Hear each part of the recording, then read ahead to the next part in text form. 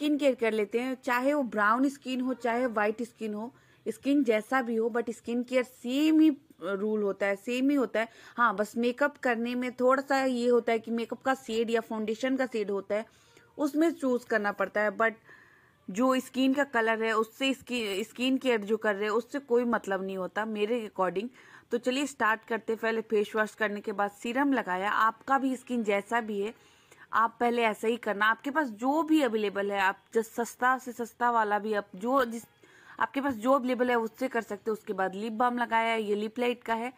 उसके बाद ये फॉक्सटेल का मॉइस्चराइजर है, जिसको लगाती हूँ मैं। बहुत ज़्यादा ही मुझे बहुत पसंद है।